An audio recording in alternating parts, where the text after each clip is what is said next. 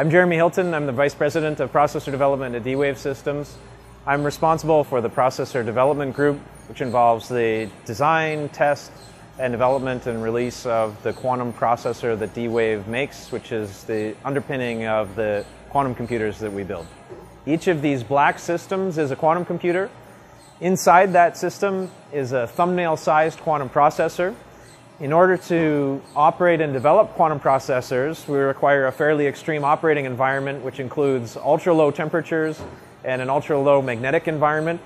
And to achieve those, we need a fairly large and sophisticated system. The main room behind us houses the quantum processor, and the data racks in the front hold the quantum server where users can access and program the quantum processor. And the other data racks include the cooling system, which includes pumps and, uh, and is responsible for the chirping sound you can hear in the background. Inside the room, be before we get to the quantum processor, there are many layers of shielding which allow us to create the low noise magnetic environment the chip sits in. If you look inside the data racks, you'll see that they don't contain what you would normally expect. So here we have uh, some scroll pumps, which are mechanical parts associated with pulling vacuum on the fridge inside the room behind. So this is obviously highly unusual for, uh, for a data rack, but has been integrated so that it, it wouldn't look out of place in a, in a data center. And in fact, the, uh, the requirements for running the system are consistent with all the services that would be available in a data center, which would include chilled water and power predominantly. In, in this rack is the quantum server which allows users from uh, anywhere in the world to interact with the processor itself. This server is receiving information from users, converting that into the machine language of the processor, and sending that machine language into the room behind where high precision analog electronics will convert those signals into electrical pulses, which are sent through cables into the refrigerator and down through the cooling system to the, uh, the ultra low temperature of the processor. It executes its problem, and then, and then data from the processor is returned to the server and returned to the user. And the system is very flexible, and that users can be programming in whatever language they're comfortable with and, uh, interacting with it either uh, with this system in their data center or, or even here in D-Wave's lab. The quantum bits in our processor store information in the form of little magnetic fields. The zero and one correspond to a little magnetic spin. The controls over the qubits are all in the form of magnetic fields. So the quantum processor is very sensitive to magnetic noise in the magnetic environment that it sits in. In order to keep that magnetic environment really low, as well as support the ultra low temperature that it's operating at, this system behind me has about 16 layers of shielding between where I'm standing and where the chip sits at the center. These, these black panels are really for aesthetic purposes, and they contain, they integrate these data racks with a shielded room, which is the first of those layers of shielding, and is filtering out RF signals. So if you were to stand inside the room and close the door, your cell phone would stop receiving a signal. The fridge itself has a combination of radiation shields as well as magnetic shields, which help support the ultra low temperature operating environment and achieve the ultra low magnetic field. Inside the room, we have to keep electromagnetic noise very low. So even things like power outlets aren't allowed because power can be quite noisy without extensive filtering. So inside the room, we have the cooling system, and these are radiation shields. So this is the next layer of shielding inside the room. The chip itself, the quantum processor, is sitting at the bottom of this array of shields. And uh, this is, again, the first of several more layers. Inside these shields is vacuum, which is the insulation of the cooling system. When we want to uh, swap the processor or conduct maintenance on the fridge, we warm the system up, we remove these shields, and then the processor is accessible as well as all of the internals of the refrigerator.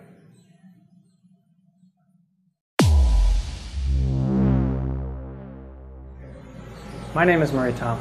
I'm the Director of Professional Services at D-Wave. I talk with our customers and partners about what quantum computers are, what kind of problems that they solve, and work with them to develop software that uses quantum computers.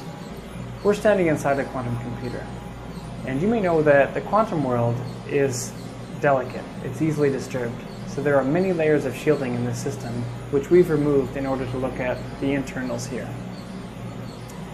A traditional supercomputer may have many thousands of processors in it, but in this quantum computer, there's only one chip located right down here.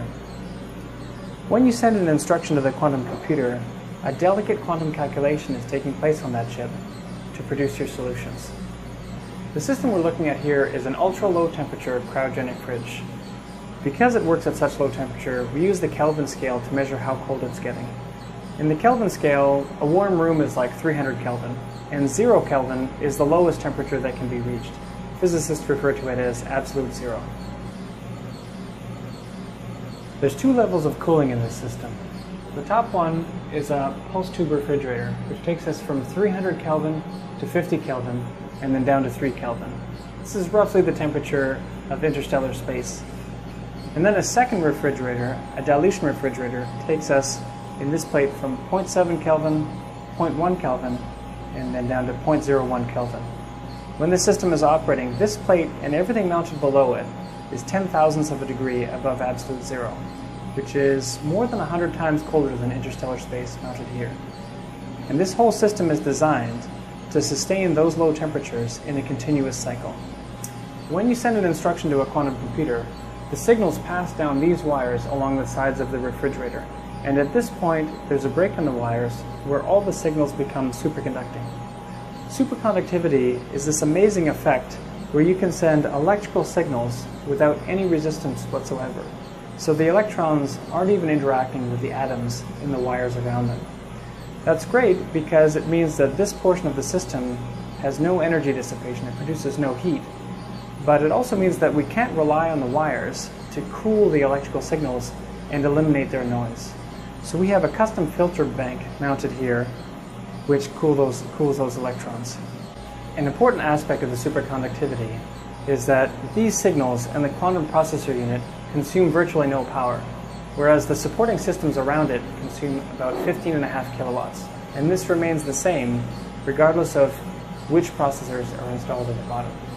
If you were to take a fully populated server rack out of a traditional supercomputer, it might consume 10 times that much power. So for our first customer, Lockheed Martin, when they upgraded from their first chip to the D-Wave 2, they saw a relative performance improvement on the order of 10,000 times, but the power consumption for the system was the same.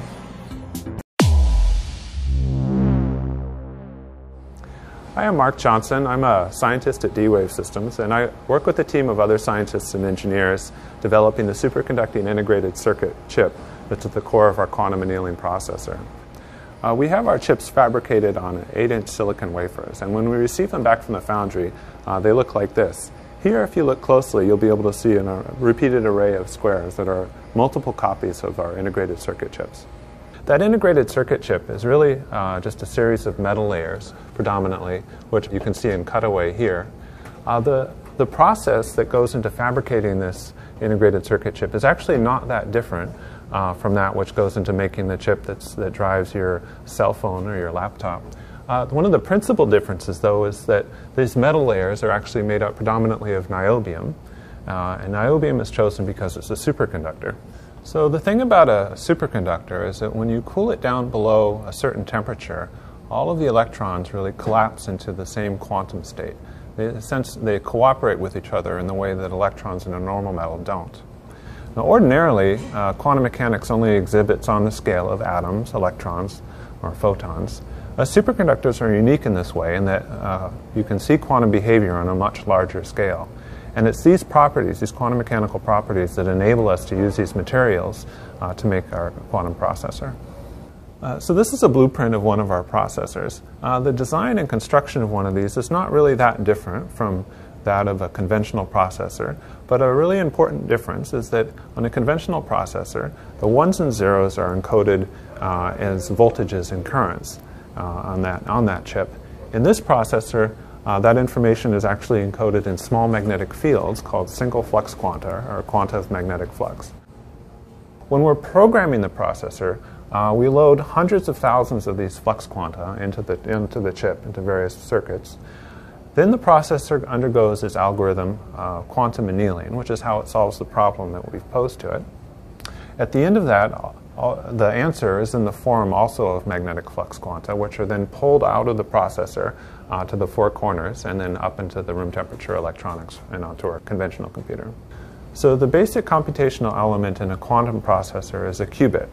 Now, a qubit is a lot like a bit in the sense that it can encode a state as 0 or a 1, but it's a quantum bit, Q for quantum bit, uh, and it has the additional property that it can be in a superposition of 0 and 1 at the same time. So this chip is made up of repeating tiles or unit cells, and each one of them uh, is made up of 8 qubits. Now, if you take one of these unit cells, well, we can blow it up and get a better, a better view of it here. So our qubits are actually superconducting wire loops that are interrupted with a, a circuit element called a Josephson junction. And we make our qubits long and thin. You can see that there are four of them running vertically here, and another four running horizontally here. Uh, wherever these qubits cross um, or intersect with each other, uh, we put a tunable coupling element that can be used to allow the qubits to influence each other in a programmable way. A qubit is engineered so that there are two stable states corresponding to circulating current going clockwise or counterclockwise. And associated with those two stable states are magnetic field either coming out of the surface or into the surface. And they correspond to the zero and the one state respectively for the qubit. Of course, a qubit can be in a superposition of 0 and 1, and so in this case that means that these qubits can be in a superposition of of those two circulating current states going clockwise and counterclockwise at the same time. So the idea that a macroscopic object like a wire loop could really be in a superposition state of circulating current going clockwise and counterclockwise is, is counterintuitive. It's quite odd. Uh, but this is the sort of thing that happens in quantum physics um, on the microscopic scale. And this is exactly the sort of phenomenon that we're harnessing to make our quantum annealing processor.